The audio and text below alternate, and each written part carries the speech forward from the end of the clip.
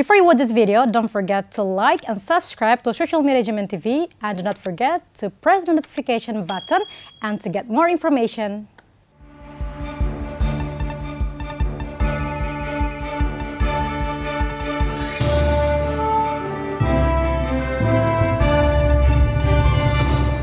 Hi and welcome to the weekend edition of ASEAN News, still with me Vanessa. Cambodian capital starts administer third dose booster shot for the public.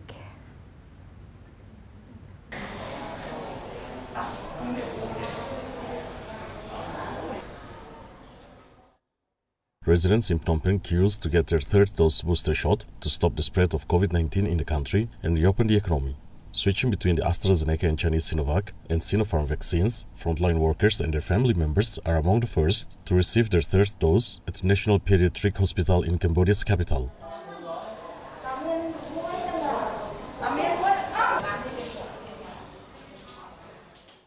Official data shows Cambodia has administered at least one coronavirus vaccine dose to half of its population of 16 million, among the highest rates in Asia, with vaccine diplomacy playing a key part in its success.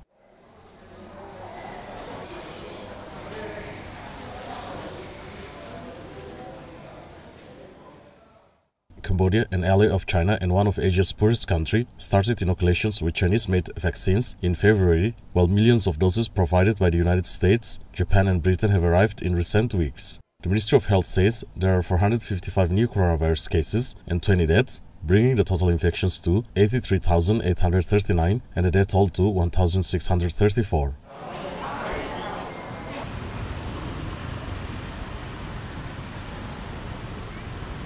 Laos Prime Minister says politicizing COVID-19 origin tracing is inhumane.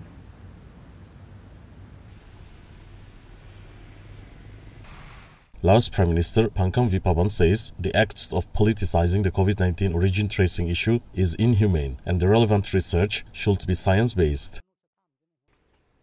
In a recent interview with Chinese media outlets, the Laos Prime Minister condemned the act of politicizing the COVID-19 origin tracing, calling for global cooperation in the fight against the pandemic.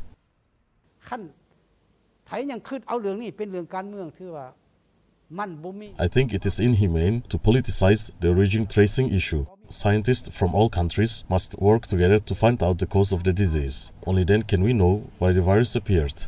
It is a scientific issue, not about foreign policies or political policies. We can only defeat the pandemic after we know about the facts. If we just try to shift blames without knowing the facts, we will not figure out the cause and neither can we cure the disease. Both tracing the origin of the virus and finding the cause of its emergence should be based on science, not involve political factors. It is better for all countries to work together in a sincere and open manner. ดีแท้การเมืองต้องหัวมือกันให้มันดี จริงใจนำกัน เปิดใจนำกัน The Laos Foreign Ministry in a statement says that since the new variants of the virus are more infectious, all countries should spare no efforts to promote cooperation in research, development, and production of vaccines and drugs, and avoid politicizing the origin tracing activities. Tracing the origin of the virus is a complex scientific issue, and countries must uphold the spirit of objectivity, transparency, inclusiveness, and pure scientific research. Thailand anti-government protesters clashes with riot police in Bangkok on the Prime Minister's handling of coronavirus pandemic.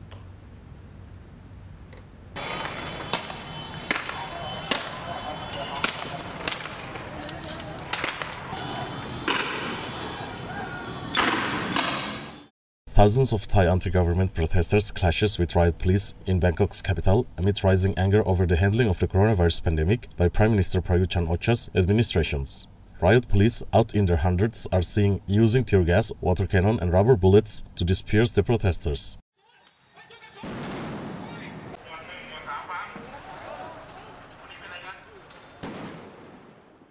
The police says at least six people officers are injured during the clashes, with one officer shot in the leg and three others hit by shrapnels from a homemade bomb.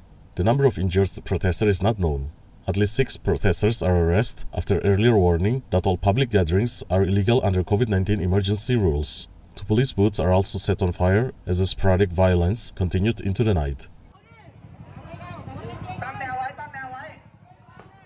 Thailand's youth-led protest movement appears to be regaining momentum after demonstrations last year attracted hundreds of thousands of people before a crackdown by authorities. The protesters have also broken traditional taboos by demanding reform of the monarchy, risking a prosecution under lese majeste law that makes insulting or defaming the king, queen, heir, and regent punishable by up to 15 years in prison.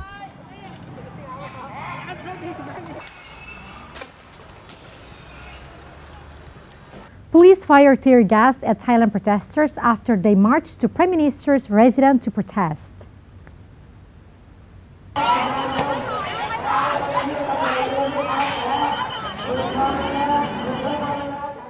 Thailand police fired tear gas canisters and rubber bullets at demonstrators after hundreds defied a ban on gatherings to rally in central Bangkok. The protesters are attempt to march from Bangkok's Victory Monument to the Prime Minister Prayut Chan-ocha's residence to demand his resignation over his government handling of the coronavirus crisis.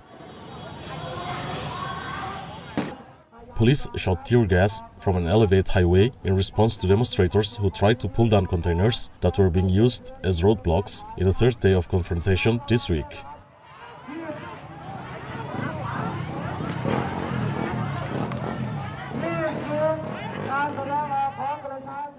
Activists from the youth-led Talufa group had vowed to protest peacefully after demonstrations this week also ended with police using tear gas and rubber bullets to disperse them as they pressed for Premier Prayut removal. Thailand's youth-led protest movement, which drew broad support during months of large and frequent rallies last year, is regaining momentum, coinciding with country's worst coronavirus outbreak yet.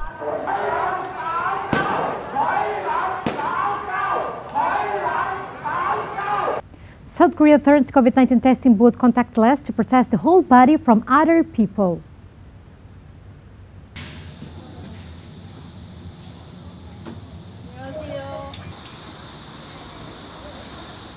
A South Korean hospital upgraded a COVID-19 testing booth to become a mobile contactless that can test people and enable telemedicine for basic treatment. Hallym University Sacred Heart Hospital says it has developed the one-stop clinic to protect staff and free them from the burden of wearing full-body protective gear in the sweltering heat.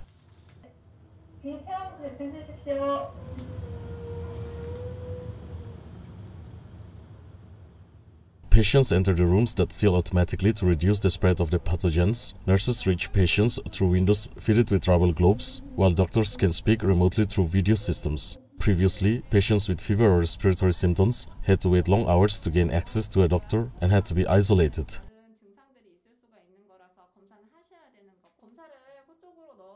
코로나 유행 상황 때문에 열이 나거나 호흡기 증상이 있으신 분들은 전문 진료를 받기가 굉장히 It is very difficult for people with fever or respiratory symptoms to get professional medical treatment due to the coronavirus situation. But we solved this problem by installing a glove wall where patients can see and hear well. 글로브 월 설치를 통해서 이러한 진료의 문제점을 다소 해결하였습니다.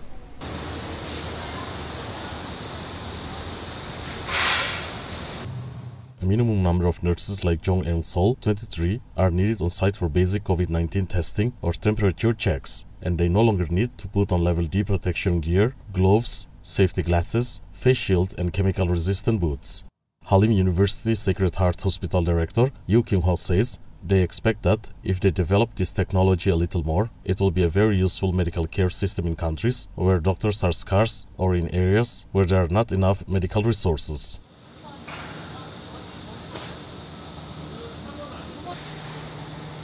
Flood water continues to inundate the streets after heavy rains in southern Japan.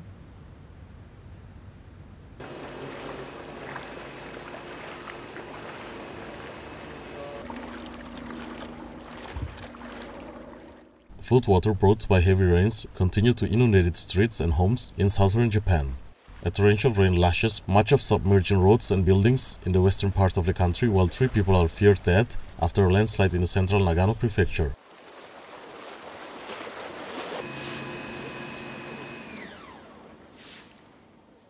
The rain stopped in much of Kyushu, even as Tokyo and other parts of the country are pounded by the downpour.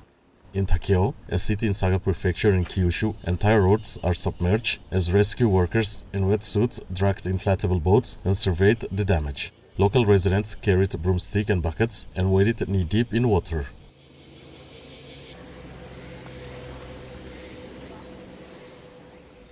とりあえずお洋服は全部ダメになりました。 Well, right now, my wardrobe is completely ruined, along with our furniture. Two years ago, we had about the same occurrence. But all the new furniture we had replaced was completely ruined. 全部ダメになっちゃいました。結構ショックでしたね。もう熊本地震も一応。I was really shocked. I also experienced the 2016 Kumamoto earthquake, But this has left an impression in a different way.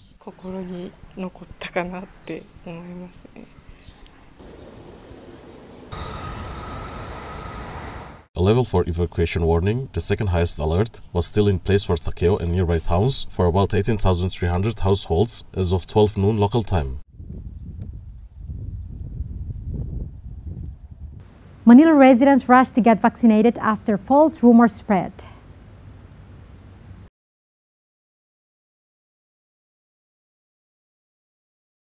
Several cities in Greater Manila ramp up their vaccination campaign with more slots and hubs as residents rush to vaccination centers after false rumors spread that they will not be able to leave their homes if they were not vaccinated.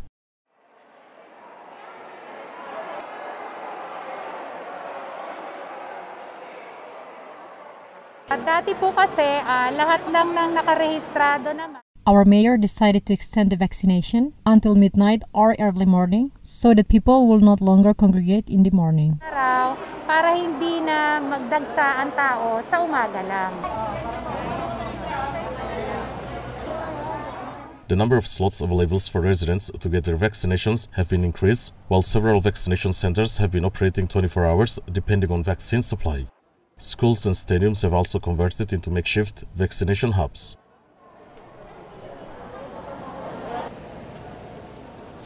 Ayoko talaga magpabakuna noon Pero I do not really want to be inoculated because I have a lot of illnesses. But lately, I see a lot of people older than me getting their vaccinations, and my child and my wife told me to take my jab since we will not never know when I might get infected by the virus. Kasi mahirap na, hindi natin alam. Baka mahawa ka.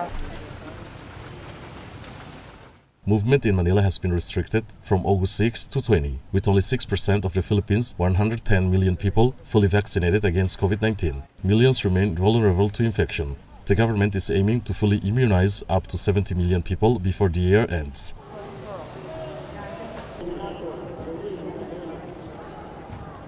China and WHO joint report on tracing origin of coronavirus, fully compliant with WHO procedures.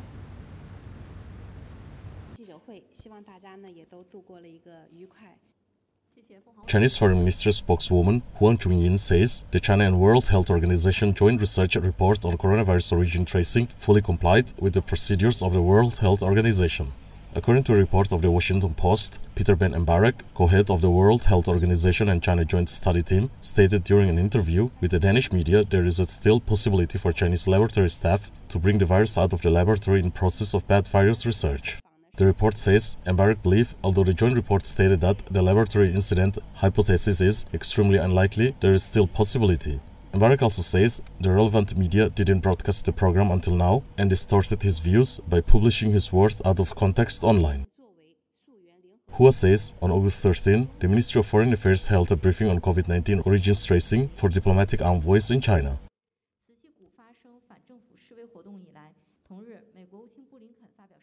在上周五，外交部举行的新冠病毒溯源问题驻华使节吹风。On August 13, the Minister of Foreign Affairs held briefing on COVID-19 origins tracing for diplomatic envoys in China. Once again responded to the lab leak theory by stressing that the allegation that SARS-CoV-2 is created by or leaked from Wuhan Institute of Virology is a sheer fabrication out of nothing. 会上表示，武汉病毒所实验室泄露引起武汉疫情及中国世卫组织新冠病毒溯源联合报告。The WHO China Joint Study Report on the origins of COVID 19 was produced in full compliance with WHO procedures and with scientific methods. It has proven to be a valuable and authoritative report that can stand the scrutiny of science and history. The report should be the foundation and guidance for global origins tracing. Any attempt to overturn or distort the conclusion of the report is political manipulation and disrespect to science and scientists around the world. 联合研究报告结论的做法都是政治操弄，也是对全球科学家和科学的不尊重。 Chinese embassy in Afghanistan continues normal operations to ensure the safety of remaining Chinese personnel in Afghanistan. 65 nations in urging the Taliban to allow Afghans to leave. Chinese Foreign Ministry spokeswoman Hua Chunying says the Chinese embassy in Afghanistan is still operating normally, with the staff members all remaining on their post to perform their official duties. 中国驻阿富汗使馆仍在正常的 the Chinese embassy in Afghanistan is still operating normally. The Chinese ambassador and embassy staff remain on their post to perform their duties. At a press conference in Beijing, Hua says the embassy has been helping Chinese citizens in Afghanistan return to China and is still working to ensure the safety of the remaining Chinese personnel in Afghanistan most Chinese citizens in Afghanistan have already returned to China, organized by embassy. There are still some Chinese personnel who have decided to stay in Afghanistan voluntarily. They are now all safe and the embassy is keeping close contact with them. The Chinese embassy in Afghanistan will continue to pay close attention to the situation in Afghanistan and provide necessary services for all Chinese citizens in Afghanistan. 公民提供必要的服务和帮助。 More than 65 nations in urging The Taliban have seized power in Afghanistan after a two decade war. The Taliban says the war in Afghanistan has ended and that they will soon declare the establishment of the Islamic Emirate of Afghanistan. The Taliban have also pledged to take responsible actions to ensure the safety of Afghan citizens and foreign missions in Afghanistan. Muhyiddin resigns as prime minister due to lost confidence of majority of members of parliament.